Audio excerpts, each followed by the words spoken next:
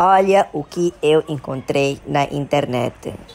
O trio mais badalado de todos os tempos na internet. Wandinha e a turma. Subscreva se gostou.